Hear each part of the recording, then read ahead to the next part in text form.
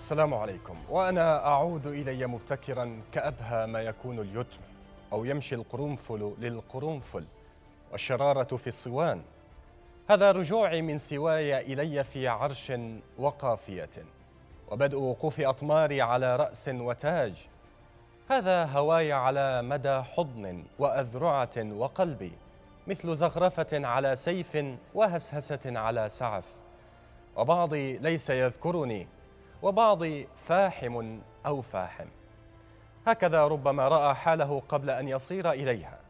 إنه عبد الودود سيف الشاعر المجدد والناقد والأديب أحد رواد المشهد الثقافي وصاحب تجربة حداثية في الأدب اليمني.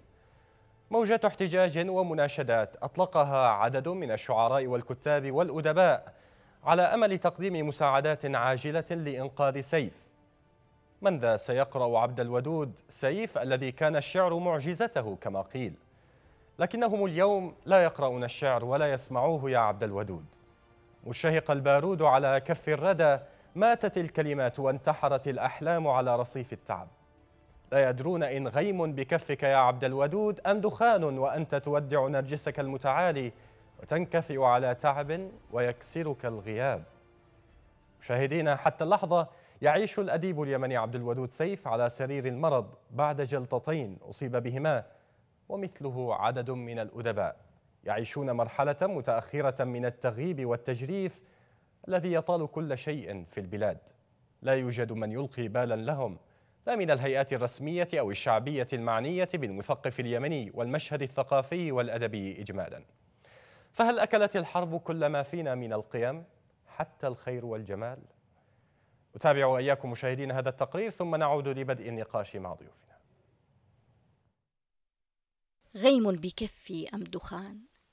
هذا ابتداء رسو صاريتي على شط وأول ما أهش بنرجس أو أستظل بزعفران. عاد الشاعر ليرتب أوجاعه وحيدا إلا من أسرته ومحبيه الذين أطلقوا نداء إنسانيا عاجلا للالتفات إلى ما يمر به الشاعر والأديب. عبد الودود سيف. عبد الودود سيف الشاعر الذي قيل إن قصائده شكلت فتحا جديدا لشعر الحداثة في اليمن.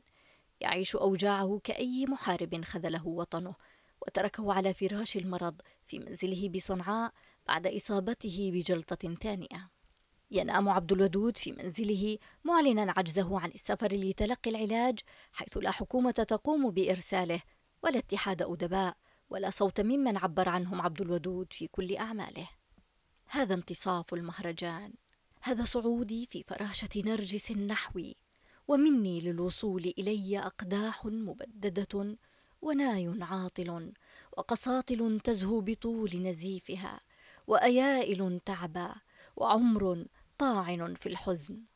هكذا قال عبد الودود في زفاف الحجارة للبحر ديوانه الأشهر الذي نشره عام 1999 لم يكن عبد الودود الأديب أو المثقف الوحيد الذي رفعت روحه الراية البيضاء جراء الظروف التي أنتجتها الحرب. خلال هذه الأربع سنوات نال أدباء وشعراء اليمن قساوة الحياة ووحشة الزمن الرديء. فانقلبوا على أوجاعهم يائسين يسحقون بأيديهم الأمل الذي ربوه طويلا في أحلامهم وكلماتهم.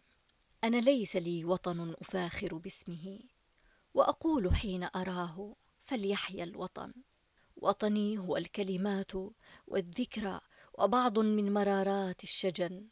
باعوه للمستثمرين وللصوص وللحروب ومشت على أشلائه زمر المناصب والمذاهب والفتن.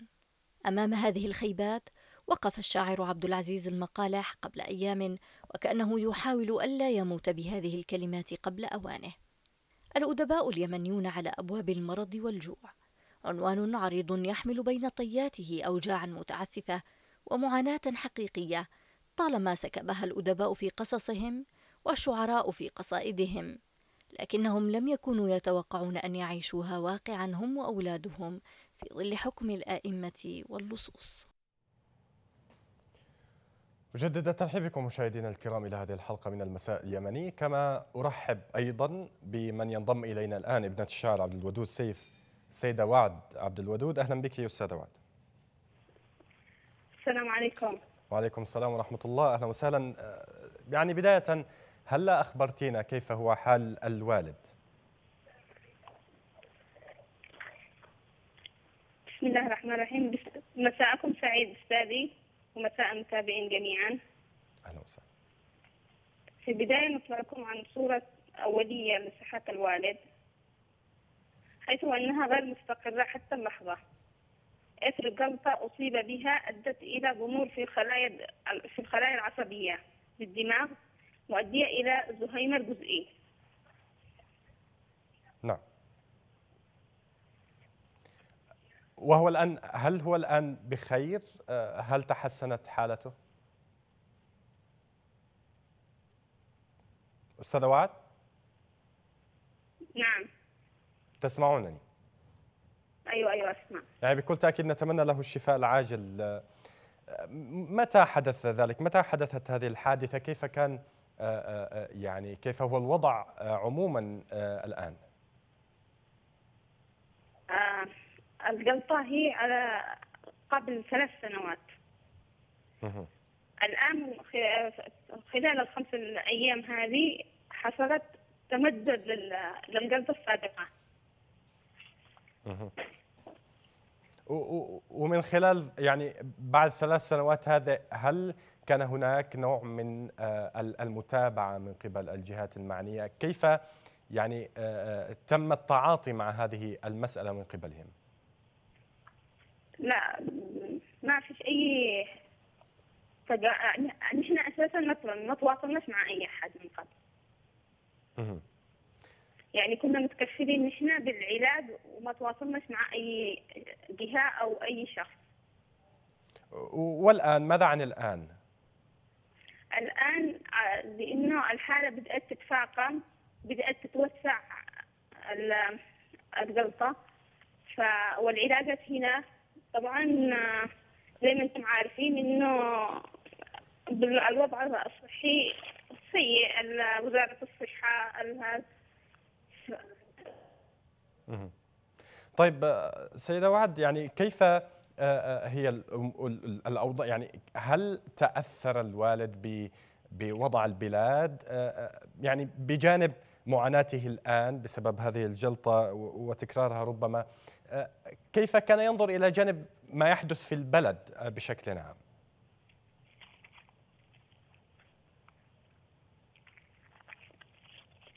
عفوا يا أخي ما سمعت يعني كنت أتحدث على أنه بالتزامن يعني آه، حالة الوالد تتحدثي على أنه خلال ثلاث سنوات كانت هناك جلطة والآن ربما تتكرر. أي. وضع البلاد كان أيضا آه، آه، آه، يعني يشهد نظرا نعم. لما تمر به البلاد حاليا من أوضاع أثرت على كافة القطاعات ومنها القطاع الصحي حيث العلاجات يعني هنا الحاليه هي لمنع تفاقم الحالة ومهدئات.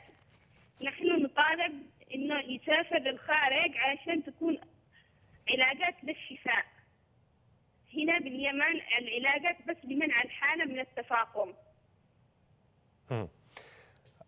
يعني هو بطبيعة الحال الآن يسمعك وزير الثقافة الأستاذ مروان دماجي الذي ينضم إلينا الآن. أشكرك جزيل الشكر أستاذة وعد عبد الودود سيف ابنة الشاعر عبد الودود. سيف كنت معنا. أنتقل أنقل ما تفضلت به السيدة وعد إليك معالي الوزير. أهلا وسهلا بك. أهلا يا مرحبا. حياكم الله. إذا كيف كان يعني بداية هل سمعتم بحالة آه، الشاعر عبد الودود سيف معالي الوزير؟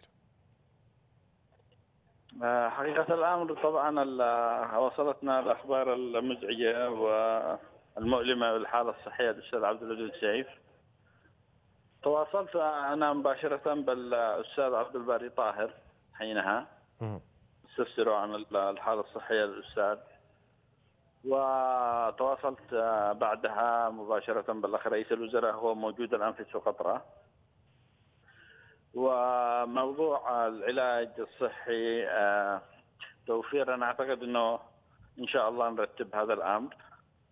وهذا هو أقل شيء بالنسبة لواحد من الشعراء المعاصرين اليمنيين الكبار.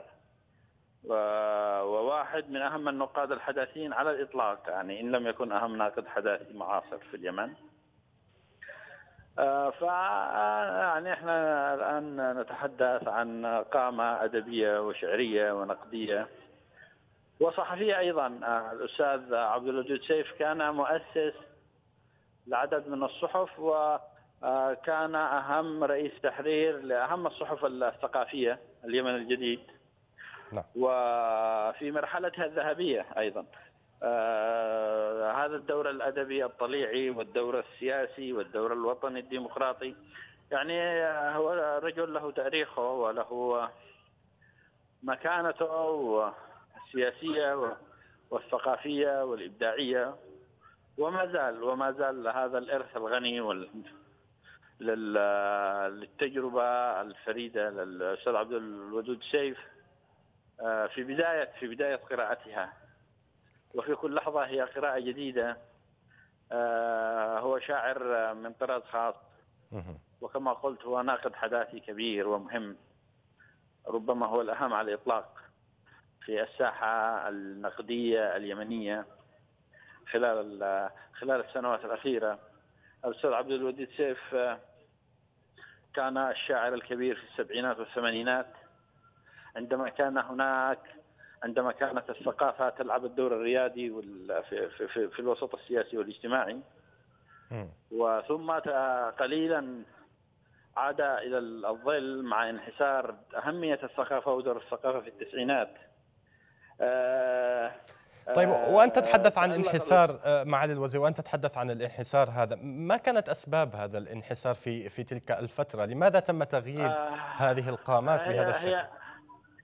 هي نتيجة مسار معين. هو هو نتيجة مسار طويل من من التهميش والإقصاء ودفع هذه الشريحة الاجتماعية والثقافية اللي كانت رائدة والتي تصدرت العمل السياسي والاجتماعي في حقبة النضال الوطني مع مع ثورة سبتمبر 26 سبتمبر و14 أكتوبر. آه، دخل هناك مسار لاضعاف هذه هذه هذه الحيز من التأثير الثقافي وافقاره ودفع عدد كبير من الأدباء والمثقفين الكبار إلى حافة الفاقة والجوع والفقر. ما عدا قله قليلة هي التي ارتبطت بالنظام و, و والتصقت فيه بطريقة حاولت أن تنجو بنفسها من هذا المآل الصعب. فهذا المسار انحدر آه، في سواء في مجال الثقافة في مجال الفنون نحن شهدنا يعني الزخم الذي الذي أنتجته ثورة 26 سبتمبر وثورة 14 أكتوبر أخذ ينحسر مع وصول آه، قيادات إلى السلطات آه، لديهم ليس موقف رجعي وإنما أيضا في حالات كثيرة كان معادي لبعض أهم الرموز الثقافية والأدبية في البلد.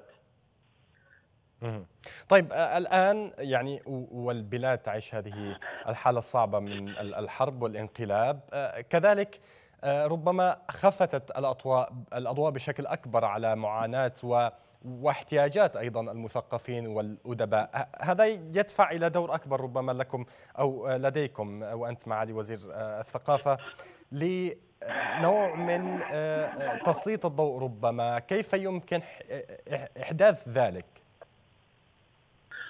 هو إلى جانب يعني هناك محاوله بذل جهد على مستوى الحالات الفردية.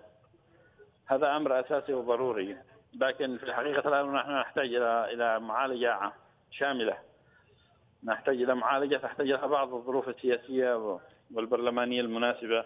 نحن نحتاج على الأقل إلى تأسيس صندوق لرعاية المثقفين صندوق خاص لأنه مطاردة الحالات الفردية سيبقى هناك عدد آخر من الأدباء الذي لا يستطيعون الحصول على الرعاية المناسبة.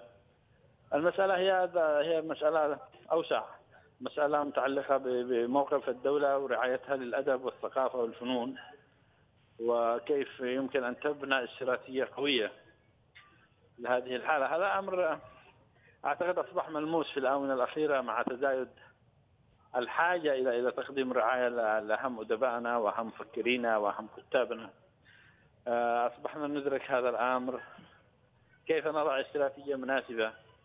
حقيقة أن هذه الفنون هذا الأدب والفن يحتاج إلى رعاية ويحتاج إلى أن الدولة تعطي أولوية وتبني مؤسسات اولا قادرة على تقديم هذه الرعاية لهذه لرموزنا وهؤلاء هم رموزنا حقيقة نحن نتحدث عن واحد من الرموز صحيح. الأدباء الكبار في تاريخ اليمن المعاصر. صحيح أشكرك جزيل الشكر معالي وزير الثقافة مروان دماج على تواجدك معنا في هذه الحلقة من المساء اليمني والأمل بأن يكون حديثك هذا بوابة ل آه، آه، يعني إحداث ما تفضلت بإقتراحه والقول فيه أرحب مشاهدينا الكرام بمن ينضم إلينا الآن الأستاذ عبد الباري طاهر الكاتب والباحث ورفيق الشاعر عبد الودود سيف. أهلا بك أستاذ عبد الباري. أهلا وسهلا. حياكم الله أستاذ عبد الباري. نحن نقف اليوم كحالة كما يقول معالي وزير الثقافة كحالة فردية أمام معاناة وما يحدث للشاعر عبد الودود سيف. لكن هذه الحالة الفردية أيضا تنطبق على حالات أخرى. آه، وربما ناقشنا في هذه في هذا البرنامج وفي آه، حلقات أخرى وحتى على يعني على وسائل التواصل الاجتماعي دوما ما يتم الحديث حول معاناة وصعوبة وحتى عدم ربما التطرق ولفت النظر للأدباء والشعراء والمثقفين. برأيك ما هي الحلول الممكنة لتجاوز هذه المعاناة في الوضع الذي تعيشه البلاد الآن؟ يا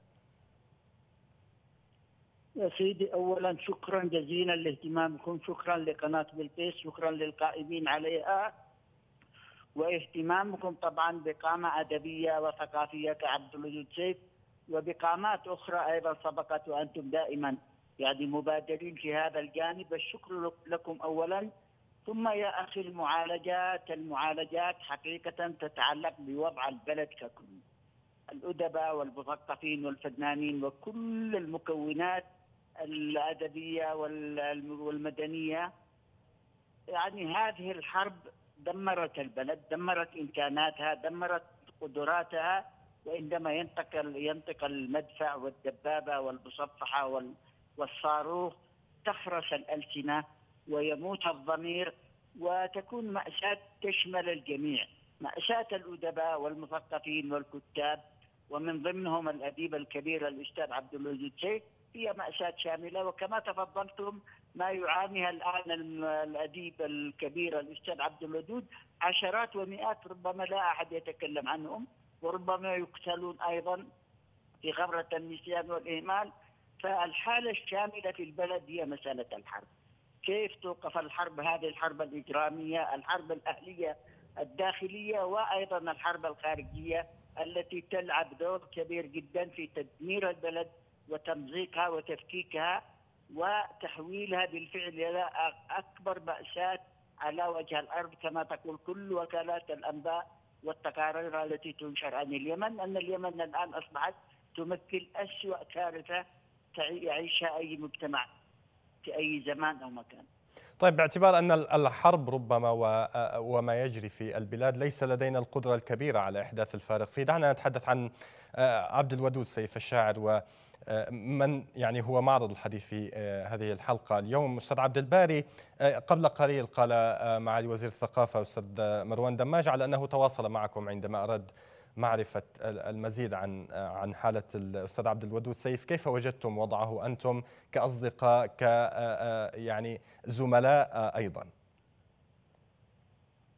هذا صحيح. الأستاذ يعني مروان رعاه الله اتصل مرتين. مرتين أنا كنت غير موجود والمرة الثانية تحدث معي وأبدى اهتمام كبير جدا. وهذا أيضا الأستاذ مروان رعاه الله قبل أن يكون وزير قبل أن يكون أو كان وكيل هو الأمين العام لنقابة الصحفيين. كان دائما في صدارة المدافعين عن الحريات العامة والديمقراطية ويدافع عن كل زملاء الصحفيين. وطبعا آه هذا مشكور. وقضية الأخ عبد الوجود سيف عبد الوجود سيف أصيب بجلطة قبل فترة ثم عاودت الجلطة. هذه الجلطة الآن آه، يعني أصابته بالعجز عن الحركة وأصبحت المعاناة كبيرة. المعاناة عبد الوجود سيف معاناة كبيرة. عبد الوجود سيف طبعا الآن كما نعرف الجميع وكأيضا كأي موظف كأي كذا بدون راتب ووضع في غاية البؤس في غاية التعاسة يحتاج إلى معالجة إلى رعاية إلى اهتمام. فهذا الأديب الآن الذي في العقد السادس من العمر لا يجد الرعاية ولا العناية ولا الاهتمام ويجد أيضا أسرته الكبيرة أيضا تعاني هي الأخرى الشظف والبؤس.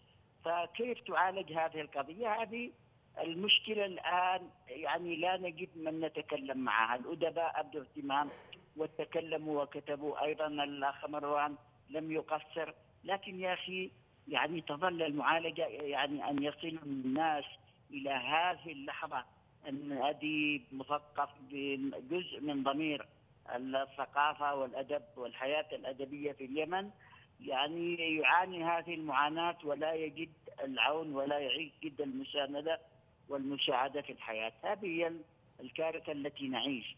لكن أنا لما أتكلم يا سيدي عن الحرب أتكلم عن الحالة العامة م. الذي يكون عبد الودود أمثال عبد الودود سيف وحياة لأنهم رجال كلمة وضمير وعقل ومعرفة وهذه الآن ليست لها مجال ولا تلقى القبول والتأثير طيب أستاذ عبد الباري يعني عندما آه، نتحدث عن آه، عبد الودود سيف الشاعر والناقد ربما آه، هناك من يقول على أنه يعني في فترة من الفترات أيضا ظلم لأنه لم يكن شاعر السلطة. ما قرب هذه العبارة من حياه ومواقف الرجل؟ سيدي عبد الودود سيف تخرج عام 70 متخصص يعني لغة عربية اشتغل في وزارة الثقافة والإعلام كان مسؤول اللي اشتغلت أنا وهو معا كرئيس التحرير وكنت مدير التحرير. كنا في اليمن الجديد تعرض للاعتقاد للملاحقة للاضطهاد وظل أيضا اختفيت أنا وهو معا لمدة سنتين. عبد الودود سيف يعني ليس له علاقة لا بالسلطه وهو احد ضحايا السلطة، احد ضحايا السلطة في الماضي واحد ضحايا عبد الودود فصل من عمله في اليمن الجديد وظل أكثر من سنة بدون راتب. ولولا تدخل القاضي عبد الرحمن الإيراني يرحمه الله حينها. لما آه، آه، يعني عاد آه، إليه راتبه. فعبد الودود شيخ من المثقفين المستقلين الأدباء الذي كان له انتماء طبعا سابق إلى الحزب الاشتراكي اليمني كان في الطليعة الشعبية ولكن لم يكن في أي لحظة من اللحظات محسوب على السلطة. حتى بعد الوحدة عبد الودود شيخ انزوى وانقطع عبد الودود سيف اشتغل على الثقافة حقق يعني الكتاب 48 حقق الأن الأولى للأستاذ النعمان حقق ثلاثة دواوين وقدمها تقديم ضافي للأستاذ رائد الشعر الحديث محمد أنعم غالب. آه، لديه ديوان يعني زفاف الحجارة إلى البحر ولديه ديوان أيضا طاووس اللهب. فأعمالها الأدبية أعمالها الثقافية تثري الوجدان وال يعني العقل والضمير اليمني ولا تخدم السلطة بحال من الأحوال وأفنى حياته وعمره في البحث. أسس البريد الأدبي. كان يعني مسؤول ثقافي في اتحاد الأدباء والكتاب اليمنيين ويعني اشتغل يعني في هذا المجال. لديه العديد من الأبحاث العديد من الدراسات. وعدت أنه أيضا رساله ماجستير. من قبل عارف صادق عن اشعار عبد الودود، عبد الودود يعني حضوره في الحياة الأدبية والثقافية أهم بما لا يقاس، عبد الودود من مؤسسي نقابه الصحفيين، من مؤسسي اتحاد الأدباء والكتاب ومكانته وزنه لا يقل عن مثقف أو اديب في المستوى العربي والعالمي أيضا.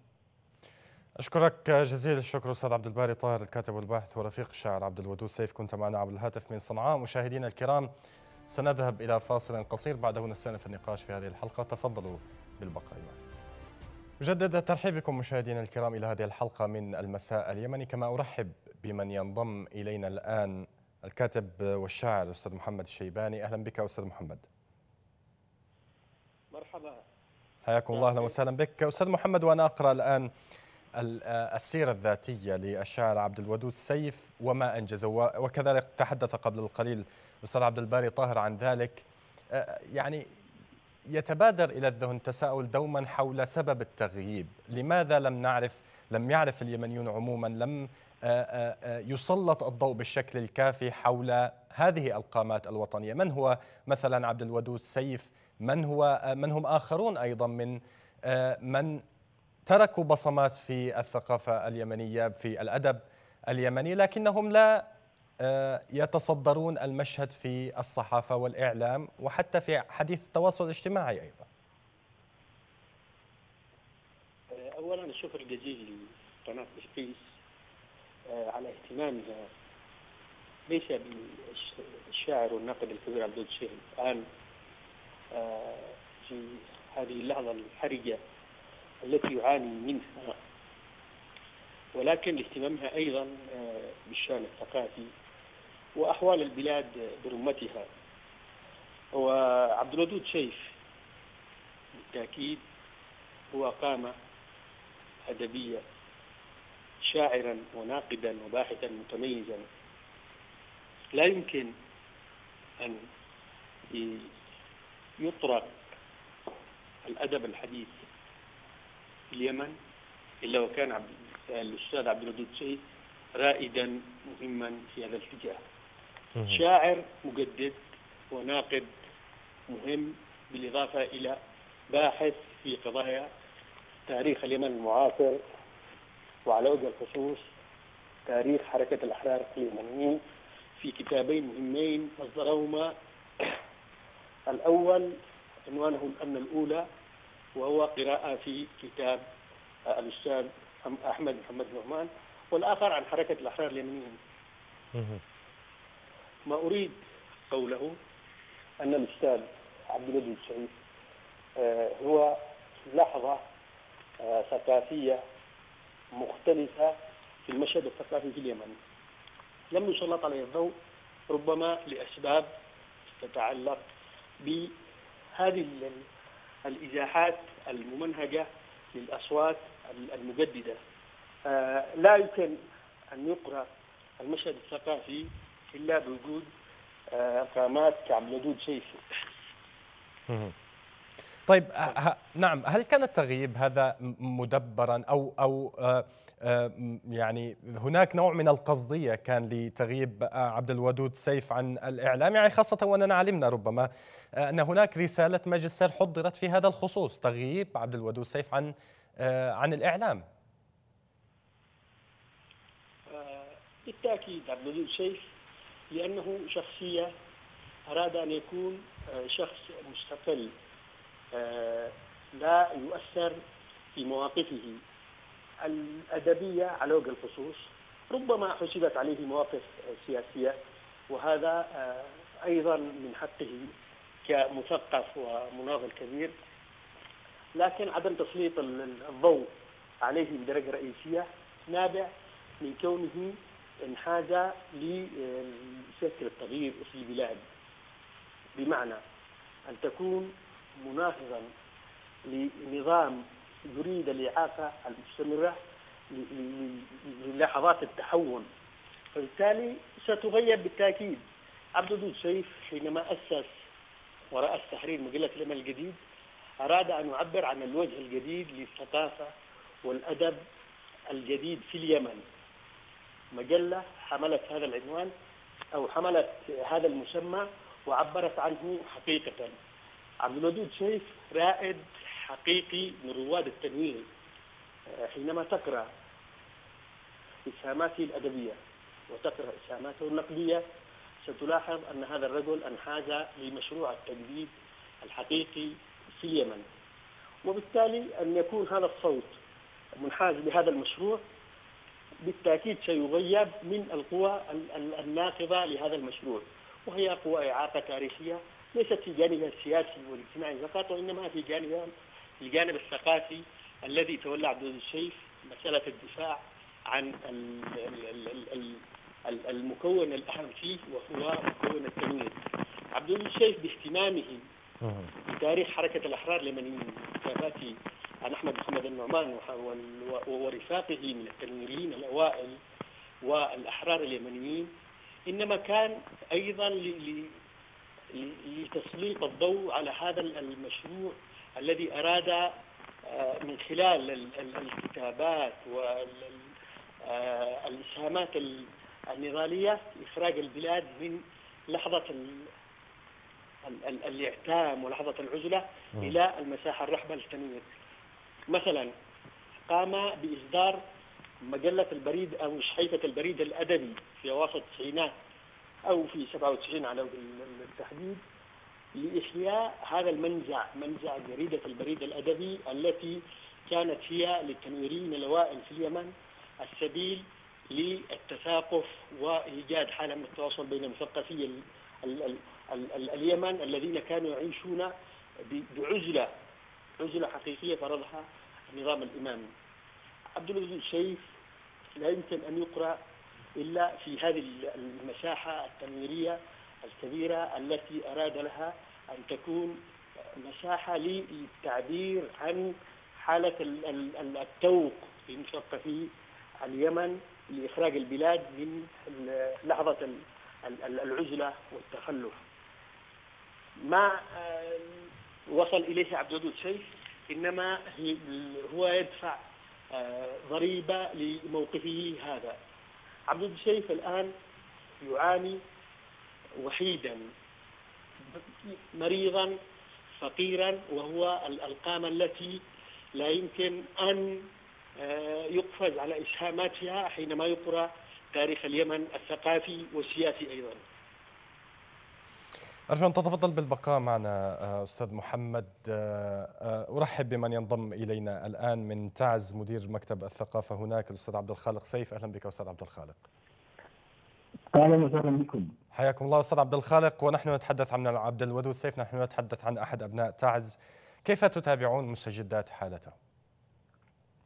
آه بالتأكيد أننا آه تعلمنا كثيرا آه لهذه الفاجعه التي من بها هذا القامة الكبيره والمثقف الكبير والحداثي الذي لا يختلف أحد على أنه يشكل فاكهة ثقافية آه، تقاسمتها عقول جميع محبيه في داخل الوطن وخارجها. تعز تفتخر بهذا القامة آه، الذي آه، أتعبته جلطات الفقر والمرض والحصار والانقلاب. بالتأكيد أننا نتألم كثيرا لما آل إليه حال هذه القامة الكبيرة.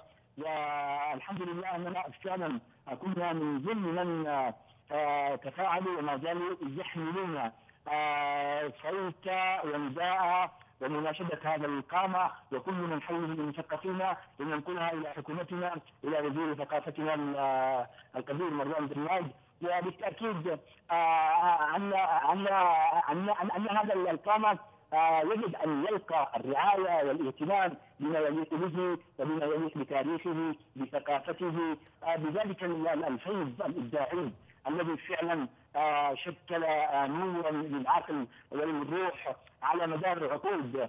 آه، نتعلم كثيرا من هذا الحال وكأن جسده يتجاوب مع ما تعانيه تعانيه اليمن وتعانيه كل بقاع اليمن التي تشظت بفعل الانقلاب وبفعل من فعلا يحسدون على الثقافة ويحملون تركه سلبيه ومدمره ضد مثل هذه الكوكبة.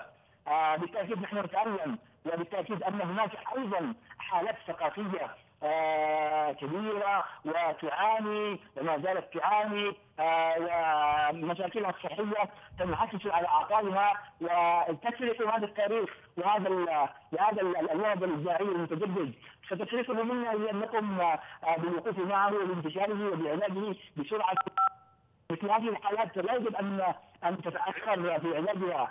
الجلسة الثانية ستقود لا قدر الله إلى انتكاسة كبيره وقد تؤدي إلى الوفاه وهذا ما نتمناه ونناشد وما زلنا نناشد ويرتفع صوتنا جميع المثقفين والمحبين وعشاق آه، هذا القامة الإبداعية الكبيرة يطالبون بسرعة علاجه هو وأيضا لدينا نجم كبير مثقف رائع آه، يعاني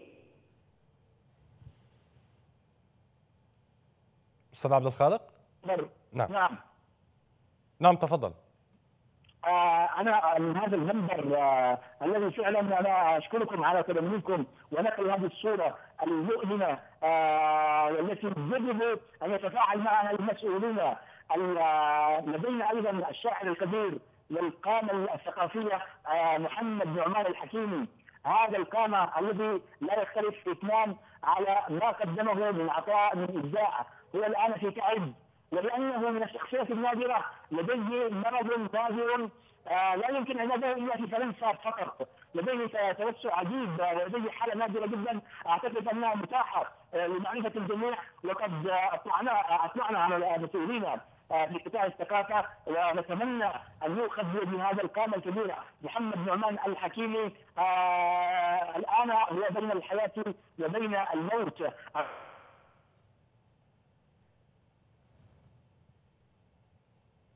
ثلاث سنوات كسر من الإبداع آه، لأنه لم يلقى الاهتمام ولا الرعاية التي تليق بمثل هذه القامه، محمد نعمان الحكيمي في اي لحظة قد يتعرض للموت مثله مثل عبد الوهاب سيف، مثله مثل محمد المحسون، ذلك الشاعر الممثل تعز والذي آه، فعلا آه، هناك من انتشله وقف معه في جلسته الخامسة، لماذا ننتظر حتى البيضة التي قد تقضي على الفنان بينما نحن نستطيع أن نقف معه وان نأخذ بأيديهم وأن نعالجهم؟ أنا أعتقد ربما أن الوضع القائم هذا الوضع المشرع والذي آه انقسم ما بين شرعيه وما بين انقلاب هو ما جعل آه هذا هذا هذه الانتكاسة في الاهتمام وفي الرعاية تنعكس على على على مثل هؤلاء النجوم وعلى سرعة الأخذ بأيديهم وعلى سرعة معالجتهم وعلى سرعة أستاذ عبد الخالق آه، يعني هو الصوت يتقطع بين في حين وآخر. أرجو أن تتفضل بالبقاء معي. أعود بعودة أخيرة أستاذ محمد شيباني أستاذ محمد برأيك ما هو الدور؟ كيف يمكن عمل آه، آه، شيء لإيقاف هذه المعاناة؟ يتحدث الآن أستاذ عبد الخالق عن معاناة لأديب آخر محمد نعمان الحكيمي المعاناة مستمرة وهذه جهات رسمية هي من تتحدث الآن أيضا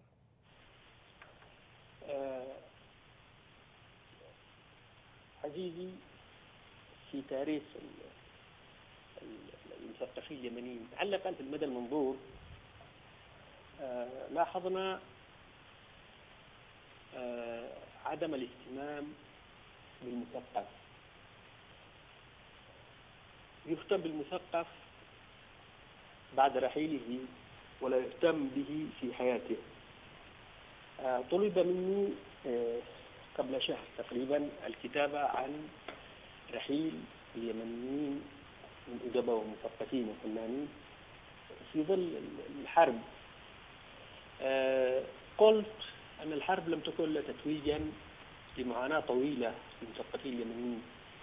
آه، لم يكن من اهتمامات الحكومات المتعاقبة بمسألة الثقافة إلا بما يخدم بما يخدم خطابها التلميعي والترويج فقط للكود لكن اهتمامها آه، بالثقافة كبنى وأصوات منعدم تماما. والسبب في ذلك أن المثقفين آه، الحقيقيين وحاملي آه، أفكار التنوير والتثوير في المجتمع آه، هم ضحايا الاستبداد الاستبداد المتعاقب لأنظمة الحكم. التناقضات الحقيقية بين صوت المثقف المستقل مثقف التنوير المثقف الناقض لفكر الاستبداد والاضطهاد آه، يتقاطع كلية مع خطاب السلطة ومآلاتها أيضا للسلطة مثقفيها وإعلامييها الذين آه، لا يمكن أن تعول على آه، نتاجهم في شيء لإحداث الفارق والمفارق في الحياة. آه، لهذا ستجد من أمثال عبد الودود الأستاذ عبد الودود وغيره الكثيرين محمد نعمان الحكيمي يعاني من سنوات طويلة وغيره عشرات من المثقفين اليمنيين منذ آه، أقل من شهر. آه، توفي شاعر شاب مبدع فقير مشرد وجاع هو علي هلال القحم آه، مات ميتة مرتابة لا تدري لا أحد أهتم بموته كما لم يهتم به في حياته. حتى في مراسم دفنه لم نكن سوى خمسة أشخاص من أصدقائه. هذا مثال مثال حي لما وصل إليه المثقف في البلاد. جاءت الحرب لتتوج هذا الإقصاء والتهميش للمثقف اليمني. لا نريد آه، أن نبكي ونصدر بيانات آه، التياع وفراق الأستاذ عبد الشيء ندعو لإنقاذه حيا. نعم. سلطة الأمر الواقع في صنعاء ووزارة الثقافة في عدن نعول كثيرا على الأستاذ والصديق مروان دماعي للمساهمة أيضا ب على الأقل المساعدة والإسهام في انتشال الأستاذ عبد الودود سيف برحيل عبد الودود سيف سنفقد قامة أدبية شاعرا وناقدا ومثقفا رفيعا. باحثا في تاريخ اليمن المعاصر لم يكتب باحث باجتهاد عبد الودود سيف رجل مقل آه لكنه آه يكتب بشكل مختلف. ما أنجزه عبد الودود سيف في رئاسته لمجلة اليمن الجديد منذ صدورها في 72 نعم وصولا إلى إصداره البريد الأدبي. وإصداره لكتاب مختارات من الشعر التسعينيين اليمنيين. نحن كشعراء في جيل التسعينية المحسوبين على الجيل التسعيني مدينين للأستاذ عبد الودود سيف بالكثير أول من اهتم بإنتاجنا الأدبي. الأستاذ عبد الودود سيف أنا عملت معه إذن مباشرة. نعم أستاذ محمد. إذا إذا الأمل كل الأمل أن أن تفضي هذه المناشدات وهذا آه، المطالبات هذه إلى إحداث آه، آه، نوع من المعالجة لوضع الأستاذ عبد الودود سيف. أشكرك جزيل الشكر أستاذ محمد الشيباني الكاتب والشاعر. كنت معنا عبر الهاتف من صنعاء. أعود إليك أستاذ عبد الخالق. دور ال يعني الجهات الرسمية وأنت مدير مكتب الثقافة. يبدو أنه قاصر في ظل وضع الحرب في نهاية المطاف لكن ما الذي ممكن يعني يظل السؤال يدور حول ما الذي ممكن عمله وفقا للظروف أو ما بالإمكان لديكم وفقا للمتاح ما هو الممكن؟ وبه دقيقة أرجو منك. آه، آه، أنت طرحت آه، سؤالا في محله. لو لو لو لو قمت مقارنة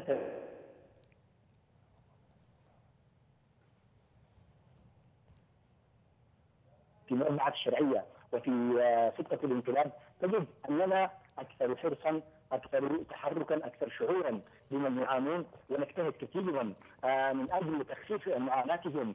آه، شعراء كثر وفنانون ومبدعون في تعز من ضمنهم الأستاذ الكبير محمد الوحصي آه، شفاه الله وعافاه الذي تناصر للشفاء تداوى معنا وزير الثقافة تداوى معنا المحافظ.